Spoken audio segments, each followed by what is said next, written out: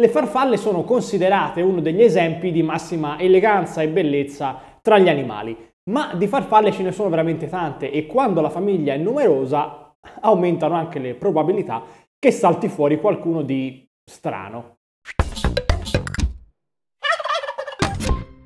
Ciao ragazzi e bentornati in un nuovo video. Quest'oggi parliamo di farfalle che sono tra gli insetti che eh, fortunatamente per loro stanno più simpatici alle persone, a meno che non siate papilofobici. Infatti ci sono persone per le quali le farfalle sono spaventose. Esiste anche tra l'altro la mottefobia, che è la fobia delle falene, ovvero le farfalle notturne. Infatti no, si sa, le farfalle volano di giorno e le falene volano di notte. A parte che ci sono falene diurne, però a livello scientifico sappiate che non esiste una differenza di classificazione tra farfalle e falene. E qui qualcuno subito penserà, le farfalle volano di giorno e le falene volano di notte. A parte che ci sono falene diurne, ma a livello scientifico non esiste in realtà una differenza di classificazione tra eh, falene e farfalle. Infatti l'ordine dei lepidotteri è un ordine di insetti a cui appartengono più di 150.000 specie e all'interno non è che sono divise a livello di classificazione in falene e farfalle. Sebbene dicendo farfalla si potrebbe comunque riferirsi alla superfamiglia dei papilionoidei, quindi una cosa in particolare, le cosiddette farfalle diurne. Però il 90% dei lepidotteri praticamente sono falene. Falena non vuol dire nulla scientificamente perché ci sono svariate decine di migliaia di specie di falene che fanno parte di gruppi spesso non particolarmente imparentati tra di loro all'interno dell'ordine dei lepidotteri. Quindi sì, nel parlato comune va benissimo usare falena, eh? lo farò anch'io in questo video. L'importante è sapere che non ha un significato scientifico ben preciso a livello di eh, classificazione. Spesso il nome falena appunto si usa per indicare le farfalle che non ci piacciono. E già lì mi immagino quelli tra di voi che diranno che le farfalle sono belle e le falene sono brutte. No, per niente. Lactias luna è una falena. L'attacus atlas è una falena. L'automeris io è una falena. Motra è una falena. Quindi, insomma, non c'è di che. Questo infatti si riflette anche in quello che si sa culturalmente di questi animali. Molte farfalle hanno nomi che rimandano a donne e sono spesso un simbolo di femminilità e grazia mentre diverse falene sono associate alla morte e agli spiriti, come per esempio la Sfinge testa di morto, presente tra l'altro anche dalle nostre parti. Sì, è quella del silenzio degli innocenti. Prima di raccontarvi quello che sa combinare, che è degno di nota, eh, vi invito ovviamente a iscrivervi al canale e seguitemi anche su Instagram, Twitch, Spotify, secondo canale e Patreon, trovate tutto in descrizione. Allora, il nome scientifico di questa falena è tutto un programma.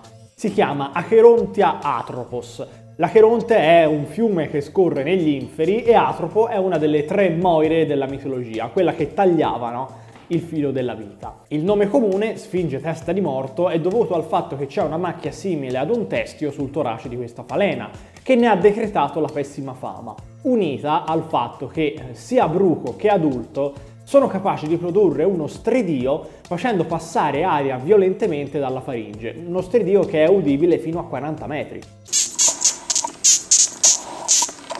Questa capacità, che è unica tra i lepidotteri, è stata osservata anche nelle altre due specie del genere Acherontia, eh, ovvero l'Acherontia styx, che prende il nome dallo Stige, un altro fiume infernale, e l'Acherontia lachesis, un'altra delle tre moire che era quella che avvolgeva il filo della vita sul fuso e ne decretava la lunghezza. Queste caratteristiche, no, macchia teschio, stredio, eccetera, hanno fatto sì che in passato si pensasse che fosse un animale che annunciava rovina, guerra, morte e pestilenza in realtà poverina non fa male a nessuno. È pressoché indifesa, insomma, punta a non farsi vedere con il suo colore mimetico, ma se minacciata emette quel suono lì e al contempo apre le ali facendo vedere le striature, giusto per avere qualche chance in più di spaventare il predatore, ma in realtà è particolare ancora per un altro motivo. Infatti di norma, come si sa, i lepidotteri si nutrono del nettare dei fiori grazie al loro apparato boccale, hanno una sorta di proboscide srotolabile chiamata spiritromba, che però nella Sfinge testa di morto è corta e robusta. Certo, anche lei può mangiare il classico nettare, ma più che altro di notte ama introdursi negli alveari. E siccome ha una cuticola resistente e resiste bene anche al veleno delle api, spesso riescono a entrare con successo. A quel punto mimano chimicamente le sostanze presenti sulla cuticola, insomma la, la, l'esoscheletro delle api e facendo questo si mimetizzano chimicamente alle api. Arrivano poi alle riserve di miele, bucano le cellette con la loro spirotromba appuntita e robusta e si rimpinzano a volontà. A volte però le api se ne accorgono e attaccano la falena uccidendola, per poi cospargerla di propoli e la falena tra l'altro così mummificata rimane lì nell'alveare. Quindi è vero, non annuncia morte e distruzione, ma comunque ha delle caratteristiche davvero fighe, perché insomma tra il rumore e questo cosa che si introduce negli alveari, insomma, è degna di nota. Una caratteristica famosa delle farfalle è il loro ciclo vitale, insomma, da piccole sono molto diverse da come sono da grandi. La loro larva, il bruco, è in sostanza una macchina da ingrasso che ha lo scopo di accumulare sostanze nutritive per crescere. Attraverso le varie mute, cioè i cambi della sua cuticola, crescerà fino ad arrivare allo stadio di pupa, quella comunemente detta crisalide. No? Ora, la pupa non è una cosa esterna al bruco, è uno stadio che fa parte del bruco. Cioè il bruco non è che è lì dentro a fare le sue faccende, quello lì è, è il bruco che sta riorganizzando i suoi organi interni in attesa del giorno in cui metamorfoserà in adulto, facendo di fatto un'ultima musa. Infatti i bruchi hanno tante zampe questo apparentemente può turbare quelli che sanno che gli insetti ovviamente di zampe ne hanno sempre solo 6. In realtà le prime 6 zampine, eh, quelle vicine alla testa, sono effettivamente le zampe dell'insetto.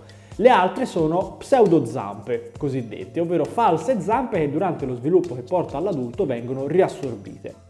E quando l'adulto esce dalla pupa si dice che il bruco sfarfalla. E questo è un termine in generale che si usa per tutti gli insetti eh, che fanno la metamorfosi in adulto quando arrivano appunto a diventare adulti. Qualche bruco tesse anche un bozzolo di seta attorno a sé eh, quando fa la pupa come ulteriore protezione. Gli insetti che fanno la metamorfosi, eh, che si chiamano insetti olometaboli, sono gli insetti di maggior successo in termini evolutivi perché hanno fatto in modo che adulti e piccoli siano così diversi che non vanno in competizione per le stesse risorse. E infatti di norma gli adulti mangiano il nettare e i bruchi le piante.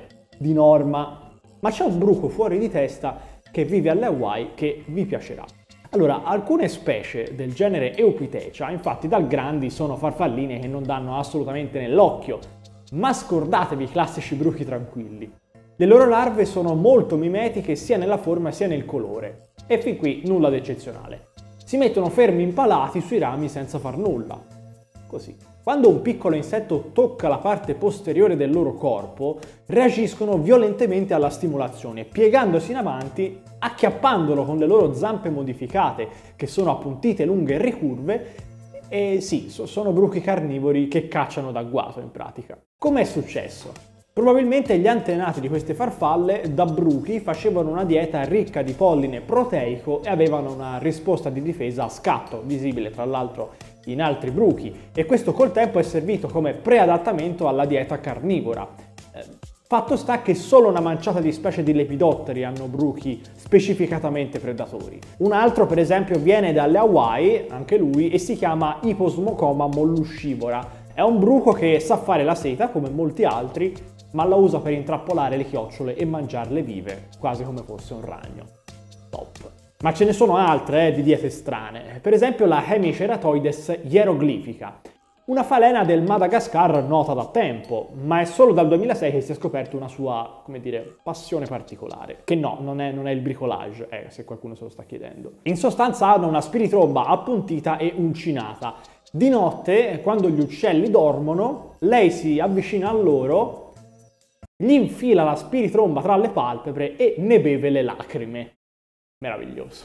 La passione per le lacrime in realtà non è una novità per le farfalle. Si sa che le farfalle, a volte in gruppi numerosi, si posano sul fango per succhiare appunto dai liquidi alcuni nutrienti utili come amminoacidi e sali minerali e questo comportamento in realtà non è limitato solo al fango, può capitare addirittura che si posino sullo sterco, sulla materia vegetale in decomposizione o addirittura sulle carogne degli animali ha un nome, è preciso questo comportamento, ovvero mud paddling.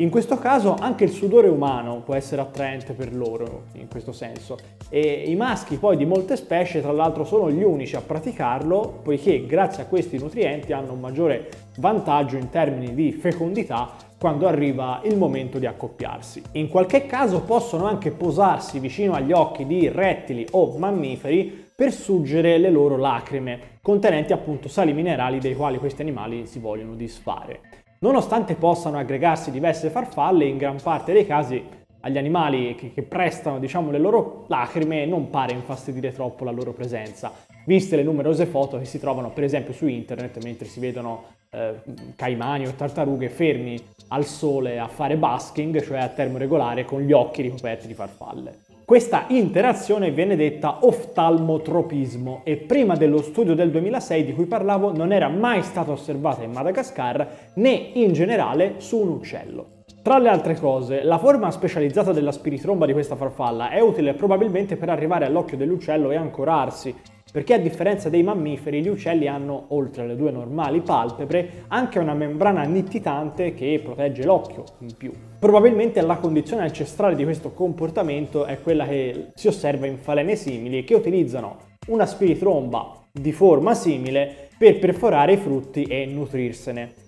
Forse è stato selezionato perché oltre a contenere sali minerali, le lacrime contengono anche proteine come albumina e globulina e fare la stessa cosa comunque in una pozza di fango all'aperto espone maggiormente al rischio di essere predati rispetto a fare così.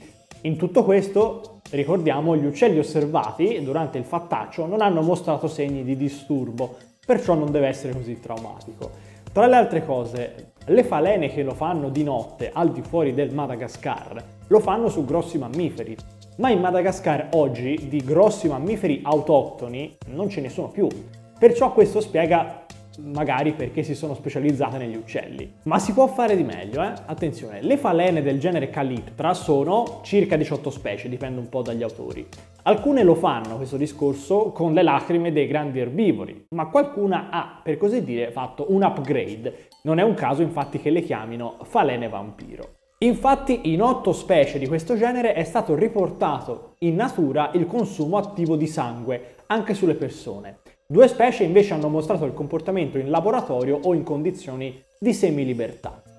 Queste falene, quando arrivano sull'animale, srotolano la loro proboscide puntuta e premono avanti e indietro con la testa per farla penetrare.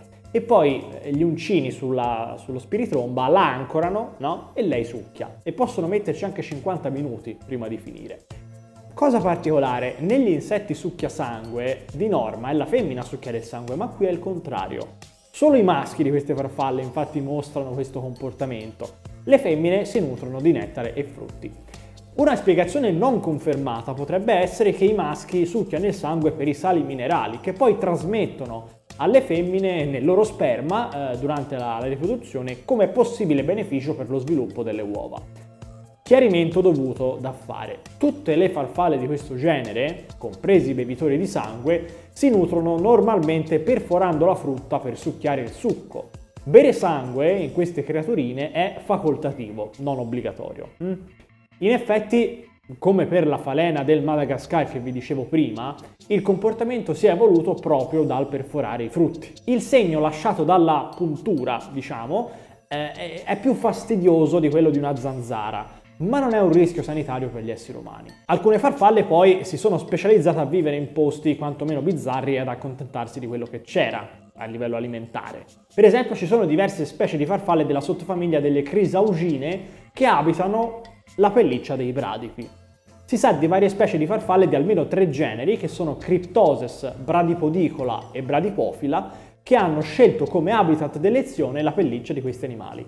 E attenzione, sono talmente specializzate che vivono solo lì e non si trovano da nessun'altra parte. Com'è che campano? Allora, per esempio, le larve del genere Cryptoses si schiudono nello sterco di bradipo, eh, che bel posto dove iniziare la propria vita, e lo mangiano, ovviamente. Quando ne hanno mangiato abbastanza, fanno la pupa e poi sfarfallano come adulti e a quel punto volano alla ricerca di un bradipo, specialmente un bradipo tridattilo. Gli adulti infatti passano la vita all'interno eh, della pelliccia. Quando si accoppiano, eh, le femmine sfruttano appunto quella volta a settimana in cui il bradipo tridattilo scende dall'albero per defecare in modo da deporre le proprie uova dentro lo sterco del bradipo hm? e poi ricomincia. Da alcune osservazioni pare che molte femmine di falena tra l'altro non facciano ritorno alla pelliccia del bradipo eh, dopo la deposizione per qualche motivo. Vale la pena chiedersi perché investire in questa scelta in termini evolutivi. Eh, forse per proteggersi dai predatori come gli uccelli. Comunque ci sono dei tasselli non ancora chiari perché non è facile capire come interagiscano eh, con gli altri elementi della pelliccia del bradipo, non essendo ovviamente molto facili da studiare. Infatti, come sapete, nella pelliccia del bradipo c'è un ecosistema tutto particolare. Ci sono alghe e funghi, oltre che diversi tipi di insetti.